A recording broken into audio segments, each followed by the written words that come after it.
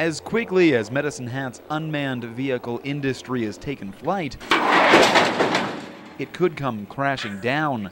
In 2008, officials with Meggitt Training Systems stood optimistically beside a robotic drone, the multi million dollar plane in a perfect location, according to specialists. With endless unrestricted skies making CFB Suffield and Medicine Hat a perfect location for training and growth.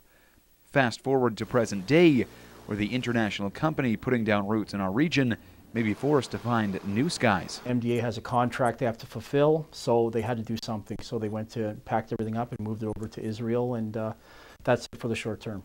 July, a Heron robotic plane crashes just outside of CFB Suffield headquarters. Transport Canada grounds all unmanned aerial flights as they investigate.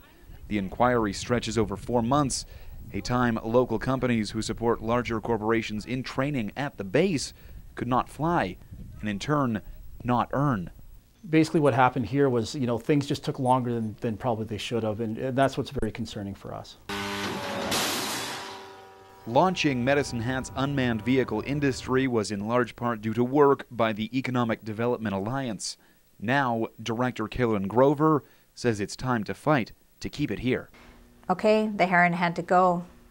Let's work collectively and cooperatively to bring the heron back as quickly as possible. At the center of this controversy is the Department of National Defense Directorate of Flight Safety. They oversee investigations like the one being blamed for the loss of business in Medicine Hat. The federal agency has not returned calls to the media, leaving their side of the story up in the air.